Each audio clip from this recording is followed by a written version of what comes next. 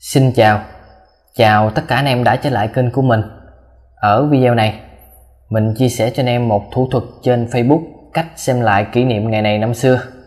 Anh em đã đăng gì trên trang cá nhân của mình để anh em có thể chia sẻ lại ở thời điểm hiện tại.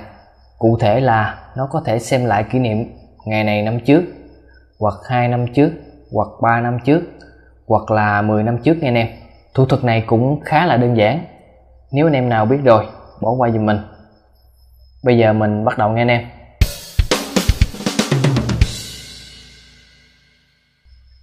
Anh em mở facebook lên.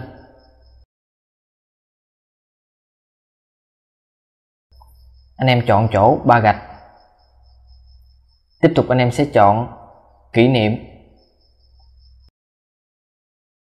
Rồi, ở ngày này 8 năm về trước, mình đã đăng bài viết này nghe anh em.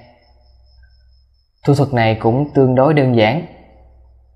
Và để chia sẻ lại bài viết này, trên trang cá nhân của mình, thì anh em sẽ chọn chữ chia sẻ. Mình sẽ chèn mặt cười ở cái phần hãy nói gì về nội dung này.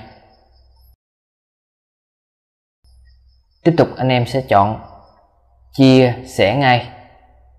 Vậy là xong nha anh em. Vừa rồi thì mình chia sẻ cho anh em cách xem lại kỷ niệm ngày này năm xưa. Anh em đã từng đăng gì trên trang cá nhân của mình? Và mình cũng dừng lại nội dung ở đây nha anh em. Nếu anh em thấy thích, cho mình một like, một đăng ký để ủng hộ mình. Hẹn gặp lại anh em ở những video kế tiếp. Xin chào.